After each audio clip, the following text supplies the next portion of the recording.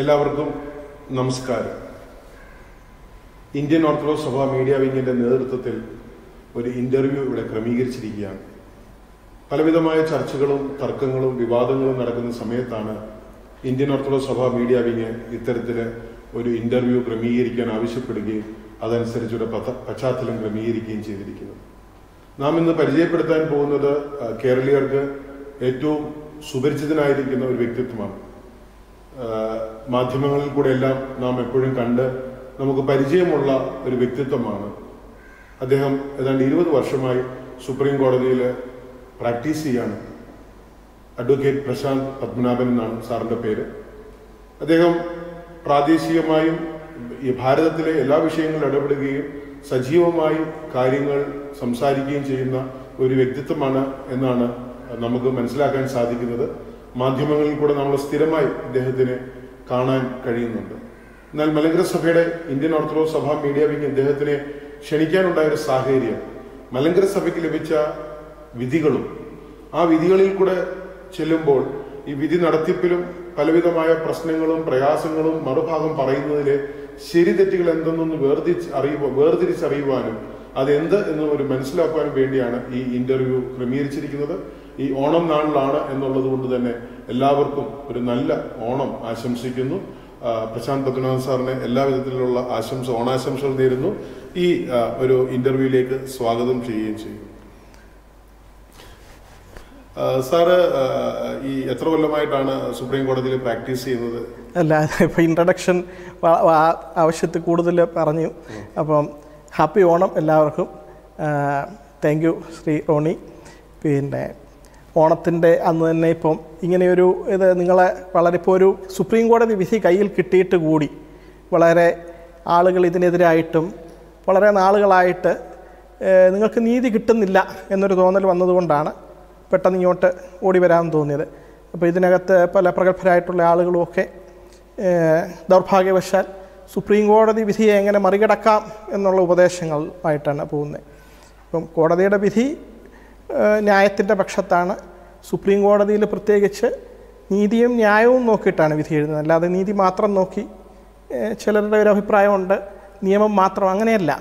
പ്രത്യേകിച്ച് ഹൈക്കോടതിയിലും സുപ്രീം കോടതിയിലും ഒക്കെ വരുമ്പം നിയമം ഇന്റർപ്രറ്റ് ചെയ്യുന്നത് കൂടാതെ അതിനകത്ത് ഇക്വിറ്റി എന്ന് പറയുന്ന അതിനകത്ത് ന്യായം കൂടെ നടപ്പാക്കാൻ വേണ്ടിയിട്ടാണ് വിധി.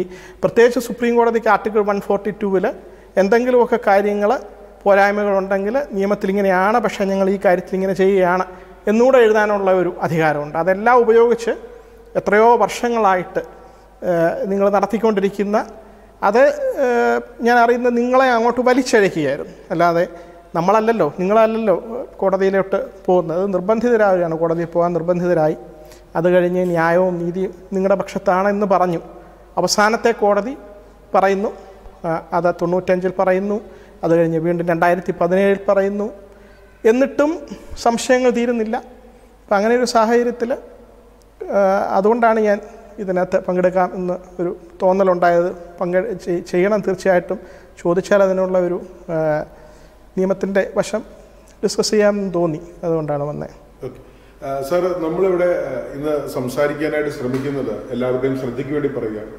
മലങ്കര സഭ കടന്നുപോയ നിയമത്തിന്റെ വഴികളിൽ എന്തൊക്കെയായിരുന്നു നിയമം പറഞ്ഞത്? ഈ നിയമത്തിനുള്ള സാധ്യത എന്താണ്? ഒരു ജനാധിപത്യ രാജ്യത്തെ ഒരു ഭരണഘടനയ്ക്കുള്ളിൽ നിന്ന് നാം ചിന്തിക്കുമ്പോൾ എങ്ങനെയാണ് നിയമവും നീതിയും രണ്ടായി പോകുമോ? അതോ നിയമവും നീതിയും ഒന്നിച്ച് ഇടകലർന്ന് കിടക്കുന്നതാണോ എന്നെല്ലാം പരിശോധിക്കാനാണ് ഇത്തരത്തിലൊരു ഇന്റർവ്യൂ ക്രമീകരിച്ചിരിക്കുന്നത്. ഞാൻ എന്റെ ആദ്യത്തെ ചോദ്യം സർ ഇന്ത്യ ഒരു ജനാധിപത്യ രാജ്യമാണ്. ജനാധിപത്യ രാജ്യത്തിനെ ഇത്ര മനോഹരമായി നിലനിർത്തുന്നതെന്ന് പറയുന്നത് ഇതിന്റെ ഭരണഘടനയാണ്.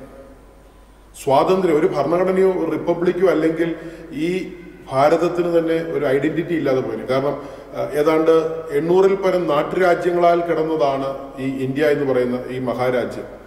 ഇന്ത്യ സ്വാതന്ത്ര്യം കിട്ടിയെന്ന് പറയുമ്പോൾ ബ്രിട്ടീഷുകാർ ഇതിന്റെ ഭരണത്തിൽ നിന്ന് ഒരു ദിവസം മാറിപ്പോയെന്ന് മാത്രമേ ഉള്ളൂ. എന്നാൽ അനാഥമാക്കപ്പെട്ട അല്ലെങ്കിൽ ഇന്ത്യയുടെ കയ്യിലേക്ക് ഏൽപ്പിച്ച് കിടക്കുന്ന ഈ ചെറിയ നാട്ടുരാജ്യങ്ങളെ ഇങ്ങനെ ഏകോപിപ്പിച്ച് ഒരു റിപ്പബ്ലിക് ആക്കുകയും ഈ ഭരണഘടനയ്ക്കുള്ളിൽ ഇവരെ നിർത്തുകയും ചെയ്യുക എന്ന് പറയുന്നത് ഇന്ത്യയുടെ വലിയൊരു മഹത്തായ ഒരു പ്രക്രിയയാണ്. ഈ ഭരണഘടനയ്ക്കുള്ളിൽ നിലനിൽക്കാൻ ഒരു ജനാധിപത്യ രാജ്യത്ത് ഈ നീതിയും ന്യായവും ഇല്ലാതെ അല്ലെങ്കിൽ ഭൂരിപക്ഷ നീതിയിലേക്ക് പോകുമ്പോൾ ഈ രാജ്യത്തിന്റെ അവസ്ഥ എന്താകും? ഒരു ഭൂരിപക്ഷ നീതിയാണോ യഥാർത്ഥത്തിൽ ഇന്ത്യയുടെ ഭാവിയെ നയിക്കേണ്ടത്? ഭൂരിപക്ഷം പറയുന്നതാണോ നീതി? അതോ ഈ രാജ്യത്തിന്റെ ഭരണഘടനയ്ക്കുള്ളിൽ വ്യവസ്ഥതയ്ക്കുള്ളിൽ നിൽക്കുന്ന നിയമത്തിനുള്ളിൽ നിൽക്കുന്ന ഭരണഘടനാപരമായുള്ള അവകാശങ്ങളാണോ നീതി എന്നുള്ളതിനെ പറ്റി സാറിന്റെ ഒരു കാഴ്ചപ്പാട് അത് ഞാൻ വേറൊരു രീതിയിൽ പറയാം. ഇന്ത്യ ലോകത്തെ ഒരു എനിഷ്യൻ നേഷനാണ്. അയ്യായിരം വർഷത്തോളമുള്ള സാംസ്കാരിക പാരമ്പര്യം ലോകത്തെ ഏറ്റവും പുരാതനമായിട്ടുള്ള ഒരു സംസ്കാരത്തിന്റെ ഉടമകളാണ് നമ്മൾ. പക്ഷേ മോഡേൺ സ്റ്റേറ്റ് എന്ന് പറയുന്നത് പുതിയ രീതിയിൽ ജനാധിപത്യം ജനാധിപത്യം നടക്കുന്ന രാജ്യങ്ങളുടെ ഇടയിൽ ഇന്ത്യ വളരെ ആയിരത്തി തൊള്ളായിരത്തി നാൽപ്പത്തേഴിലാണ് നമുക്ക് സ്വാതന്ത്ര്യം കിട്ടുന്നത്. അപ്പോൾ താരതമ്യേന വളരെ അടുത്ത കാലത്ത് സ്വാതന്ത്ര്യം കിട്ടിയ ഒരു മോഡേൺ സ്റ്റേറ്റാണ് ഇന്ത്യ. അത് ഈ പറഞ്ഞതുപോലെ തന്നെ ഒരു നിയമ സംവിധാനം. ഭാരതത്തിലെ മുഴുവൻ ജനങ്ങൾക്കും ഇവിടെയുള്ള എല്ലാ സ്റ്റേറ്റുകളും സെൻട്രൽ ഗവൺമെന്റും ഒക്കെ ഒരു ഭരണഘടനയുടെ കീഴിലാണ് പ്രവർത്തിക്കേണ്ടത്. അതായത് ഒരു ഭരണകൂടം ഉണ്ടാക്കുമ്പം ആ ഭരണകൂടം എങ്ങനെയാണ് പ്രവർത്തിക്കേണ്ടതെന്നാണ് ഈ ഭരണഘടനയിൽ വിവക്ഷിക്കുന്നത് അത് നമ്മൾ ലോകത്തുള്ള പല പല രാജ്യങ്ങളിലെയും സംവിധാനമൊക്കെ നോക്കി ഏറ്റവും മെച്ചപ്പെട്ടത് ഓരോരുത്തർക്കും കടമെടുത്തും ഒക്കെയാണ് ഈ ഭരണഘടന ഉണ്ടാക്കിയത്. അത് വളരെ ഡിബേറ്റും ഒക്കെ നടത്തി അന്ന് മഹാരഥന്മാരായിട്ടുള്ള പലരും കൂടി ഇരുന്ന് ചർച്ച ചെയ്ത് പാസ്സാക്കിയെടുത്ത നിയമമാണ്. അതിനകത്ത് തോമസ് ജെഫേഴ്സൺ പണ്ട് അമേരിക്കയുടെ ഭരണഘടനയുടെ ഇതിൽ പറഞ്ഞിട്ടുണ്ട്. അത് പണ്ട് ഫെഡറലിസ്റ്റ് പേപ്പർ എന്ന് പറയുന്ന ഇതിനകത്ത് ഈ ഭരണഘടനാ ഡിബേറ്റ്സ് അവിടെ അമേരിക്കയിൽ നടന്നുകൊണ്ടിരുന്ന സമയത്തും പറഞ്ഞത് മാലാഖമാരല്ല ഭരണം നടത്തുന്നത് മനുഷ്യരാണ്. അപ്പോൾ ആദ്യം നമ്മൾ മനുഷ്യരെ കൊണ്ട് തിരഞ്ഞെടുത്ത ഒരു ഗവൺമെന്റ് ഉണ്ടാക്കുക. ആ തിരഞ്ഞെടുത്ത ഗവൺമെന്റിനെയും കൂടെ കൺട്രോൾ ചെയ്യണം. അപ്പോൾ അതിനു വേണ്ടിയിട്ടാണ് ഈ ഭരണഘടന ഒരു ചട്ടക്കൂടിനുള്ളിൽ നിന്നുകൊണ്ട് വേണം പ്രവർത്തിക്കാൻ. അല്ലെന്നുണ്ടെങ്കിൽ ടോട്ടലി ഒരു ഈ പറഞ്ഞതുപോലെ അടിപിടി കൂടുന്ന ഒരു അവസ്ഥയിലെത്തും. അപ്പോൾ അതിനകത്ത് കയ്യൂക്കുള്ളവൻ കാര്യക്കാരൻ എന്നുള്ള ഒരു അവസ്ഥയിലോട്ട് പോകും. അത് പോകാതിരിക്കാനാണ് നിയമവ്യവസ്ഥിതി. അപ്പം നമ്മൾ ഈ വോട്ട് ചെയ്ത് അധികാരത്തിൽ ഭൂരിപക്ഷം കിട്ടുന്നയാൾ അല്ലെങ്കിൽ കൂടുതൽ വോട്ട് കിട്ടുന്നയാൾ ഭരണത്തിൽ വരുന്നു. അത് അത് ഈ പറഞ്ഞതുപോലെ ഡെമോക്രസിയുടെ ഒരു കൺസെപ്റ്റ് എങ്ങനെയാണല്ലോ? അധികാരത്തിൽ വരുന്നത് കൂടുതൽ ആളുകളുടെ വോട്ട് കിട്ടുന്നവരെ. പക്ഷേ അത് കഴിഞ്ഞ് അവർക്ക് എന്തും ചെയ്യാനോ ഭരണഘടന എടുത്ത് ദൂരെ കളയാനുള്ള അവകാശമില്ല. അതൊരു ബേസിക് സ്ട്രക്ചറുണ്ട് ഭരണഘടനയുടെ ബേസിക് ആയിട്ടുള്ള ചില ഫീച്ചേഴ്സ് ഉണ്ട്. അതിനെ തൊട്ട് കളിക്കരുതെന്ന് സുപ്രീം കോടതി പറഞ്ഞിട്ടുണ്ട്. അത് കേശവാനന്ദ ഭാരതി കേസിലാണ് പറഞ്ഞത്. ബേസിക് സ്ട്രക്ചർ കോൺസ്റ്റിറ്റ്യൂഷൻ ഒരിക്കലും നമുക്ക് ഭരണഘടന അമെൻഡ് ചെയ്ത് പോലും മാറ്റാൻ പറ്റില്ല. അതിനകത്ത് ഒരു ബേസിക് സ്ട്രക്ചറാണ് റൂൾ ഓഫ് ലോ അതായത് നിയമവാഴ്ച നിയമമാണ് നിങ്ങൾ എത്ര വലിയ ആളാണെങ്കിലും നിയമം നിങ്ങൾക്ക് മുകളിലാണ് എന്ന് പറയും. അത് പ്രധാനമന്ത്രിയാണെങ്കിലും മതങ്ങളാണെങ്കിലും ഒരു സ്റ്റേറ്റ് ആണെങ്കിലും ഒക്കെ അവരെല്ലാം ഭരണഘടനയ്ക്ക് വിധേയമായിട്ടാണ് നമ്മളിവിടെ പ്രവർത്തിക്കുന്നത്. കാരണം ഇവിടെ നമുക്ക് ഈ രീതിയിലുള്ള കാര്യങ്ങൾ നടത്തിക്കൊണ്ട് പോകാൻ അവകാശം കിട്ടുന്നത് തന്നെ ഭരണഘടനയിൽ നിന്നാണ് ഇന്ത്യയുടെ ഭരണഘടനയിൽ. അപ്പോൾ അതിന്റെ കീഴിൽ നിന്ന് വർത്തിക്കുമ്പോൾ ആ നിയമത്തിനകത്തുള്ള ഇന്റർപ്രിട്ടേഷൻ ഇന്ന നിയമം എന്താണ് പറയുന്നത് എന്ന് പറയുന്നത് കോടതികളുടെ പരിഗണനയിൽ വരും. അപ്പോൾ കോടതികളിൽ ഒരു തർക്കം പോയി. ആ തർ അതായത് പരിഹരിച്ച് തീർക്കാൻ പറ്റാത്ത പ്രശ്നങ്ങൾ രമ്യതയിൽ എത്താൻ കഴിയാത്തപ്പോഴാണല്ലോ കോടതിയിലോട്ട് പോകുന്നത്. നമ്മളൊരിക്കലും ഞാൻ അറിഞ്ഞിടത്തോളം പരിശുദ്ധ ബാബ തിരുമേനി ഏറ്റവും സുസ്മേരവദനായിട്ടിരുന്ന എന്തു പ്രശ്നത്തിനും പരിഹാരം കണ്ടെത്താൻ കഴിവുള്ള ഒരു മഹത് വ്യക്തിയാണ്. അദ്ദേഹത്തിനെ അംഗീകരിക്കാത്ത ആളുകൾ കോടതിയിലോട്ട് ഈ തർക്കം വലിച്ചഴച്ചിട്ട് അവിടെ പോയി വലിയ വലിയ മഹാരഥന്മാരായിട്ടുള്ള അഭിഭാഷകരാണ് സുപ്രീം കോടതിയിൽ നിങ്ങൾക്ക് വേണ്ടി ഹാജരായിട്ടുള്ള അവർക്ക് വേണ്ടി ഹാജരായിട്ടുള്ളത് ഈ കെ പരാശരനാണ്. നിങ്ങളുടെ ഭാഗത്ത് നിന്ന് ഇപ്പോൾ അറ്റോർണി ജനറലായിരിക്കുന്ന കെ കെ വേണുഗോപാലും ഒക്കെയാണ് അപ്പിയർ ചെയ്തിരിക്കുന്നത്. ഞാൻ ആ വിധികളൊക്കെ വായിച്ചു നോക്കിയപ്പോൾ. അപ്പോൾ അങ്ങനെ വളരെ ഹോട്ട്ലി കണ്ടസ്റ്റഡ് എന്ന് പറയും. അതായത് വലിയൊരു വാദപ്രതിവാദം നടന്ന് സുപ്രീം കോടതി വരെ പോയി വാദങ്ങളൊക്കെ നടത്തി. ഒരു വിധി സമ്പാദിക്കുന്നു. ആ വിധി അവിടെ വരെ എത്തിച്ചത് എങ്ങനെയോ അവിടെ വരെ എത്തി. ശരി അത് കോടതി ശരി സുപ്രീം കോടതിയുടെ അധികാരത്തിൽ നമ്മൾ രണ്ടുപേരും അവിടെ പറയുന്നത് എന്താണെന്നാൽ സ്വീകരിക്കുക എന്നുള്ള ഒരു ഇതിലാണല്ലോ കോടതിയിലോട്ട് പോകുന്നത്. ആ കോടതിയിൽ നിന്നൊരു വിധി വന്നു കഴിയുമ്പോൾ അത് പാലിക്കുക എന്നുള്ളതാണ് അതിന്റെ ഒരു മിനിമം മര്യാദ എന്ന് പറയുന്നത്. അത് കോടതി സുപ്രീം കോടതി വിധി വന്നു. ആ വിധിയിൽ എന്താണ് പറയുന്നത്? പരിശുദ്ധ ഭാവ തിരുമേനിയെ അംഗീകരിക്കുന്ന ഒറ്റ വിഭാഗമേ ഉള്ളൂ. ഇതിനകത്ത് വേറെ ഒരു പാത്രിയാർക്കീസിന് ഇതിൽ ആത്മീയപരമായിട്ടുള്ള ഒരു അവകാശമില്ല എന്ന് പണ്ടേ പറഞ്ഞു കഴിഞ്ഞതാണ്. തൊണ്ണൂറ്റഞ്ചിൽ പറഞ്ഞു. അത് ഒരു വാനിഷിംഗ് പോയിന്റിലെത്തി. അത് ഇനിയില്ല എന്ന് പറഞ്ഞു. തീർന്നു. അത് പിന്നെയും കോടതിയിൽ ഈ കേസ് കെട്ടിക്കിടക്കുന്നു. പിന്നെ വരുന്നു. രണ്ടാമത് വരുമ്പോൾ വീണ്ടും ഇത് തന്നെ പറയുന്നു. ദൗർഭാഗ്യവശാൽ ഈ സുപ്രീം കോടതിയിൽ ഈ രണ്ടായിരത്തി പതിനേഴിലും പതിനെട്ടിലും ഒക്കെ വിധി വന്നതിന് ശേഷവും കേരള ഹൈക്കോടതിയിൽ ഒരു കേസിൽ എവിടെയോ രണ്ട് വിഭാഗങ്ങൾ അവരവരുടെ പ്രാർത്ഥന അവരുടെ രീതിയിൽ ചെയ്യട്ടെ എന്ന് ഒരു വിധി വന്നപ്പോൾ അത് സുപ്രീം കോടതി പിന്നെ വന്നപ്പം ആ അവിടെ ഇരുന്ന ജഡ്ജി അന്ന് ചോദിച്ചത് കേരളം ഇന്ത്യയുടെ ഭാഗമല്ലേ? കേരളത്തിലെ ഹൈക്കോടതി ജഡ്ജിമാരോട് നിങ്ങൾ ഇന്ത്യയുടെ ഭാഗമാണെന്ന് ഞങ്ങൾ റിമൈൻഡ് ചെയ്യുന്നു എന്നാണ് ഓപ്പൺ കോടതി റിമൈ അദ്ദേഹം പറയാൻ ഒരു അങ്ങനെ ഒരു സിറ്റുവേഷൻ വരെ എത്തി. അപ്പോൾ അത്രമാത്രം ഹോട്ട്ലി കണ്ടസ്റ്റഡ് ആയിട്ടുള്ളൊരു കേസാണ്. അപ്പം ഇതിനകത്ത് പിന്നെ തർക്കങ്ങളില്ല. തർക്കങ്ങൾ ഉണ്ടായിരുന്നു അത് തീർന്നു. കോടതിയുടെ പരിഗണനയിൽ പോയി കോടതിയിൽ കേസ് നടത്തി കേസ് ഒരു രീതിയിൽ വിധി വന്നു. അപ്പോൾ ഇനി ഏറ്റവും ചെയ്യാനുള്ള ഏറ്റവും നീതി യുക്തമായിട്ടുള്ള കാര്യം എന്ന് പറയുന്നത് ആ വിധി പാലിക്കുക. അതിനാണ് നമ്മൾ ന്യായം എന്ന് പറയുന്നത്. അപ്പോൾ ഇതിനകത്ത് നീതി നീതി ഇല്ലേ എന്ന് ചോദിച്ചാൽ നീതി തീർച്ചയായിട്ടും ഉണ്ട്. സുപ്രീം കോടതിയിലെ എല്ലാ രീതിയിലുമുള്ള അതാണ് ഞാൻ പറഞ്ഞത് പരാശരൻ സാറൊക്കെയാണ് അവർക്ക് വേണ്ടി പിന്നെ ഒരു വിഭാഗം അതിനുവേണ്ടി അത് വാദിക്കാൻ വേണ്ടി ഏർപ്പാടാക്കിയത്. അദ്ദേഹം എല്ലാ രീതിയിലും ഒരു ട്രസ്റ്റ് രൂപീകരിക്കണം സി പി സിയിലെ സെക്ഷൻ നയന്റി ടു അനുസരിച്ച് അതൊക്കെ വേണം എന്നൊക്കെ പറഞ്ഞ് അതുപോലും സുപ്രീം കോടതി അതിന്റെ ആവശ്യമില്ല. ഇനി ഇതിനകത്ത് രണ്ട് വിഭാഗങ്ങളില്ല എന്ന് അസന്നിഗ്ധമായിട്ട് പറഞ്ഞു കഴിഞ്ഞു. അപ്പോൾ അതിനകത്ത് ഇനി ഒരു സംശയം വരേണ്ട കാര്യമില്ല. സംശയം ഉണ്ടാകുന്ന രീതിയിലുള്ള ചില അഭിപ്രായങ്ങൾ. അതിപ്പം ആ വ്യക്തിപരമായിട്ട് ഒരാൾക്ക് ഒരു അഭിപ്രായം ഉണ്ടാകാം. ഏത് ഇതിലിരിക്കുന്ന ആളാണെങ്കിലും അദ്ദേഹം ഒരു അഭിപ്രായം പറയുന്നു. അദ്ദേഹത്തിന്റെ അഭിപ്രായം എന്നുള്ള രീതിയിൽ അതല്ലാതെ അതിനകത്ത് ഒരു സംശയത്തിനുള്ള സ്കോപ്പ് ഇല്ല എന്നാണ് എനിക്ക് തോന്നുന്നത്. സാർ പറഞ്ഞതിൽ നിന്ന് ഞാൻ ഒന്ന് രണ്ട് കാര്യങ്ങൾ മനസ്സിലാക്കുന്നത്. ഒരു ജനാധിപത്യ രാജ്യത്തിൽ ആര് ഭരിക്കണമെന്ന് തീരുമാനിക്കുന്നത് ഭൂരിപക്ഷമാണ്. ഒരു സംശയമില്ല ഒരു ജനാധിപത്യ രാജ്യത്ത് ആര് ഭരിക്കണമെന്ന് തീരുമാനിക്കാനുള്ള അവകാശം ഭൂരിപക്ഷമുണ്ട്. ഭൂരിപക്ഷത്തിനുണ്ട്. എന്നാൽ എങ്ങനെ ഭരിക്കണമെന്ന് തീരുമാനിക്കുന്നത് ഭരണഘടനയാണ്. അതാണ് സാർ വളരെ വ്യക്തമായി അത് പറഞ്ഞു ഒരു ഭരണഘടനയ്ക്കുള്ളിൽ നിന്ന് ഭരിക്കാൻ മാത്രമേ തിരഞ്ഞെടുക്കപ്പെടുന്ന ഭൂരിപക്ഷത്തിന് സാധിക്കുകയുള്ളൂ. അപ്പൊ സാർ എന്റെ അടുത്ത ചോദ്യം എന്ന് പറയുന്നത് ഈ പലരും പറഞ്ഞു കേൾക്കുന്നത് നിയമം ജയിച്ചു നീതി തോറ്റു എന്നൊക്കെ പറയുന്നുണ്ട്. അപ്പം ഈ നിയമവും നീതിയും രണ്ടാണ്. നിയമമില്ലാതെ നീതി ഉണ്ടാവുമോ? ഈ നിയമവും നീതിയും ഇങ്ങനെ ഇടകലർന്ന് കിടക്കുകയാണ്. അപ്പോൾ ഒരു രാജ്യത്ത് ഒരു നിയമമില്ലാതെ ഉണ്ടാകുന്ന നീതിയെ നമുക്ക് പൊതുനീതി എന്ന് വിളിക്കാൻ പറ്റും. നമുക്കൊരു പൊതുവായ ഒരു നീതി സംവിധാനം നിൽക്കുന്നത് ഒരു നിയമം ഉള്ളതുകൊണ്ടാണ്. അല്ലാതെ ഓരോ വ്യക്തിയും പറയുന്നതാണ് ഇവിടുത്തെ നീതിയും നിയമവും എന്ന് പറയാൻ പോയാൽ ഒരു ഒരു അൺസർട്ടനിറ്റി ഉണ്ടാകാൻ പോകും. അതുകൊണ്ട് നീതി ഇല്ലാതെ ഒരു നിയമം ഉണ്ടാകാൻ കഴിയുമോ? അല്ലെങ്കിൽ ഒരു നിയമമില്ലാതെ ഒരു നീതിക്ക് നിലനിൽക്കാൻ സാധിക്കുമോ എന്നുള്ളതാണ് എന്റെ ഒരു ചോദ്യം സാർ. അങ്ങനെ ഒരു ഡിസ്റ്റിങ്ഷൻ ഇല്ല. ഞാൻ നേരത്തെ പറഞ്ഞല്ലോ. പ്രത്യേകിച്ച് സുപ്രീം കോടതിയിൽ ഒരു നിയമം അതിന്റെ അക്ഷരാർത്ഥത്തിൽ വ്യാഖ്യാനിക്കുമ്പോൾ എന്തെങ്കിലും രീതിയിൽ ഒരു വിഭാഗത്തിന് അല്ലെങ്കിൽ ആ കോടതിയുടെ മുമ്പിൽ നിൽക്കുന്ന ഒരാൾക്ക് ഒരു കക്ഷിക്ക് എന്തെങ്കിലും ഒരു ക്ഷീണം വരുന്നു. അപ്പോൾ അതിനകത്ത് കോടതിക്ക് നീതി കൂടി കണക്കിലെടുത്തുകൊണ്ട് എല്ലാ രീതിയിലും ഇക്വിറ്റബിൾ ആയിരിക്കണം നീതി നടപ്പാക്കിയെന്ന് തോന്നൽ വരണം. അങ്ങനെ അവസാനത്തെ കോടതി ആയതുകൊണ്ട് ആ കോടതിക്ക് ഒരു പ്രത്യേക അധികാരം കൂടിയുണ്ട്. സവിശേഷമായിട്ടുള്ളൊരു അധികാരം ആർട്ടിക്കിൾ വൺ ഫോർട്ടി ടൂവിൽ കൊടുത്തിട്ടുണ്ട് ഭരണഘടനയ്ക്കകത്ത്. അത് ഏത് കേസിലും സുപ്രീം കോടതി എടുത്ത് ഉപയോഗിക്കാറുമുണ്ട്.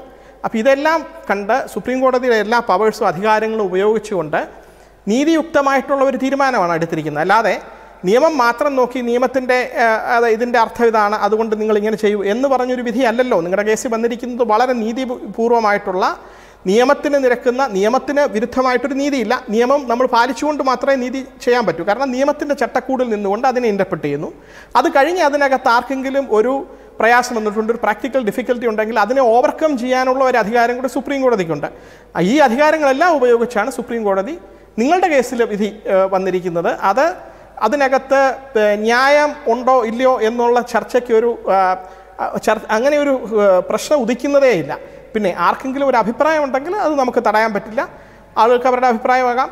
അത് സുപ്രീം കോടതി തന്നെ പറഞ്ഞിട്ടുണ്ട്. ഇൻഡിവിജ്വൽസിന് ആർക്കെങ്കിലും ഒരാൾക്ക് ഇല്ല പിന്നെ പരിശുദ്ധ ഭാവാതിരുമേനി അംഗീകരിക്കാൻ കഴിയില്ലെന്നുണ്ടെങ്കിൽ ചർച്ചിൽ നിന്ന് പുറത്തു പോകാനുള്ള സ്വാതന്ത്ര്യമുണ്ട് ഒരു അതിനകത്തിൽ കുറച്ച് പേര് കൂടിയിരുന്ന ഇപ്പോൾ ഈ ഭൂരിപക്ഷത്തിന്റെ കാര്യം പറഞ്ഞതുകൊണ്ട് ഞാൻ മനസ്സിലാക്കിയത് ഒരു പള്ളിയിൽ ഭൂരിപക്ഷം ഒരു വിഭാഗമാണെങ്കിൽ അവർക്ക് ആ പള്ളി എടുത്ത് മാറ്റാമോ എന്നുള്ള ചോദ്യമാണെങ്കിൽ പറ്റില്ല. അത് അസന്നിഗ്ധമായിട്ട് സുപ്രീം കോടതി വീണ്ടും ഊന്നി പറഞ്ഞിട്ടുണ്ട്.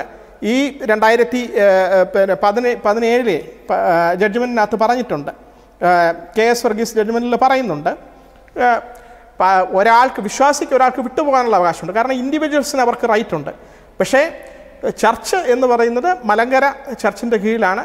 അതൊരു ചർച്ചിൽ കുറച്ച് പേര് കൂടിയിരുന്നിട്ട് ഈ ചർച്ചിൽ ഞങ്ങളിവിടെ ഭൂരിപക്ഷമാണ് അതുകൊണ്ട് ഈ ചർച്ച് ഈ മലങ്കര സഭയിൽ നിന്ന് വിട്ടുപോകുന്നു എന്ന് പറയാൻ ആർക്കും അവകാശമില്ല. സർ ആ, തീർച്ചയായിട്ടും സാർ പറഞ്ഞ കാര്യങ്ങൾ വളരെ ക്ലിയർ ആണ്. എന്റെ അടുത്ത ചോദ്യം എന്ന് പറയുന്നത് ഒരു ഏതെങ്കിലും ഒരു പ്രാദേശിക സ്ഥലത്ത് അല്ലെങ്കിൽ ഇന്ത്യയിൽ തന്നെ ഞാൻ നമുക്ക് ഇന്ത്യയിൽ തന്നെ ഇന്ത്യയിൽ തന്നെ ഒരു ഭൂരിപക്ഷ സമൂഹം പറയുന്നതാണ് നീതിയെങ്കിൽ ഒരു ജനാധിപത്യ രാജ്യത്തിനോ ഒരു മതേതര സംവിധാനത്തിനോ നിലനിൽക്കാൻ സാധിക്കുമോ എന്നുള്ള എന്റെ ഒരു ചോദ്യം. കാരണം ഭൂരിപക്ഷം പറയുന്നത് മാത്രമാണ് ശരി.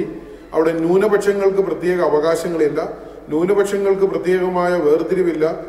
ഭൂരിപക്ഷം. ഞാൻ ഈ ഭൂരിപക്ഷം എന്ന് പറയുന്നത് നമ്മുടെ ഒരു ഇന്ത്യയുടെ പശ്ചാത്തലത്തിൽ തന്നെ എടുക്കാം നമുക്ക്. ഒരു ഭൂരിപക്ഷം പറയുന്നത് മാത്രമാണ് ശരിയെങ്കിൽ ഒരു മതേതര രാജ്യത്ത് ന്യൂനപക്ഷമായ ആളുകൾക്ക് ജീവിക്കുന്നതിന് ഒത്തിരി പ്രയാസങ്ങളുണ്ട്. അപ്പം ഒരു ഭൂരിപക്ഷത്തിന്റെ പേര് പറഞ്ഞ് അത് വെറും ഒരു പേര് പറച്ചിലാണ്. ഈ ഭൂരിപക്ഷത്തിന്റെ പേര് പറഞ്ഞ് അക്രമങ്ങളെയും അനീതിയെയും വളർത്തുവാനും അല്ലെങ്കിൽ സുപ്രീം കോടതിയെ വിധി മറികടക്കുവാൻ ഏതെങ്കിലും ഒരു പള്ളിയിൽ പത്ത് പേർ കൂടുതലുണ്ട് എന്ന് പറയുന്ന ഒരു ഭൂരിപക്ഷമോ?